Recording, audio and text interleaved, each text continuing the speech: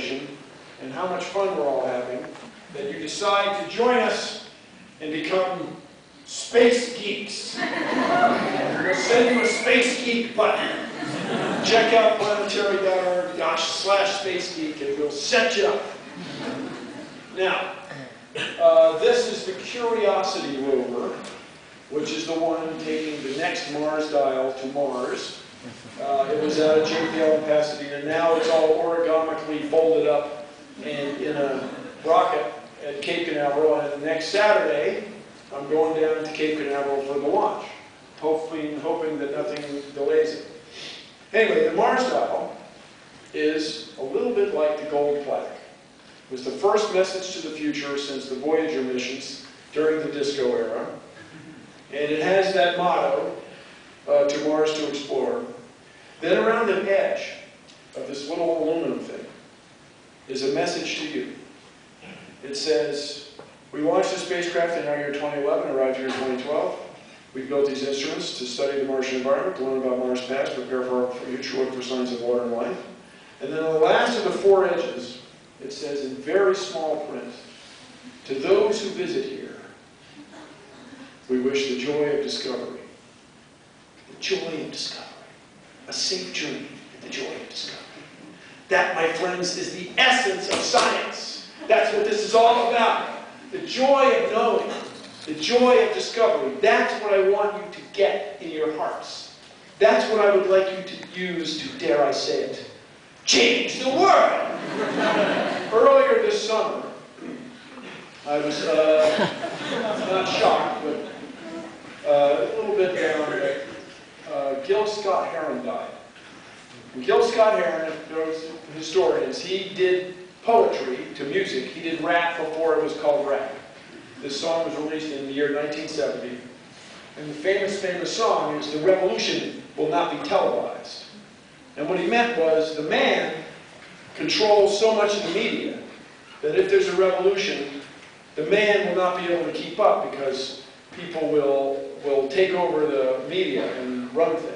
And that kind of turned out to be what happened. It turns out not to literally be true. It turns out the revolution is televised. The revolution doesn't count unless it's on Twitter or Facebook. But there's revolutions going on all over the world right now, and you guys are part of it. You are seeing these old oppressive regimes just being swept away through the power of the social network, through the power of Twitter and Facebook and the internet. And you guys are going to see the world change. And I want you to be the leaders.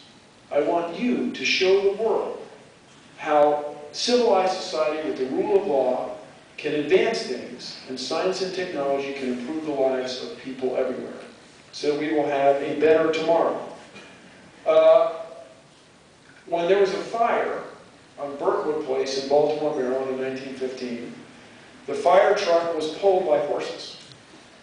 When my grandfather went into World War I, he put a gas mask on himself and he put a gas mask on his horse. Because that's the way people did stuff. That's all they had. That was the technology.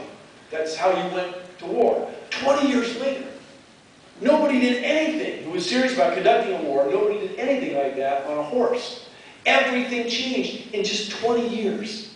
And my goodness, the changes that you guys will see will astonish people of my age. This is a picture of Saturn, taken by the Cassini spacecraft about four years ago, three plus years ago. And it's a striking picture. It's an astonishing picture.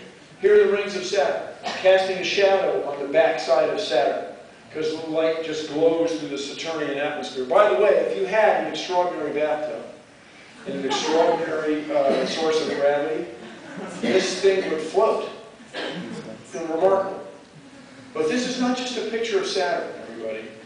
This is a picture of the Earth. The Earth is right there. And that's it. It's that little dot in the middle of galactic nowhere. If we go straight up a few thousand kilometers, there's the sun, and that's the Earth, right there. When I was in third grade, Mrs. Cochran, my third grade teacher, told us there were more stars in the sky than grains of sand on the beach. And I remember thinking, lady, come on. really, have you ever been to a beach? There's nothing but sand. There's sand this way that way, thousands of nautical miles. You go back there, you turn around, there's just sand. You go sand on sand. There's a cliff full of sand. The tide goes out, there's more sand. You shuffle your feet, and there's sand. I mean, I wouldn't have expressed it in this way. Mrs. Conrad, are you high?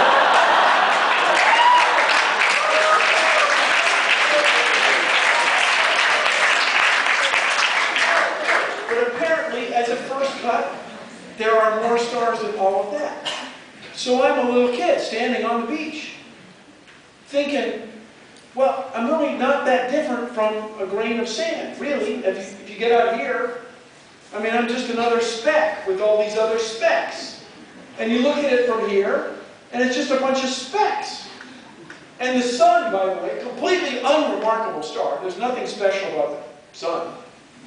I mean, I'm a speck on a speck, orbiting a speck, with a bunch of other specks, in a galaxy of specks, in a universe full of other galactic specks. I'm in the middle of specklessness. I, I suck. But then with my brain, which is only this big, of course, my old boss,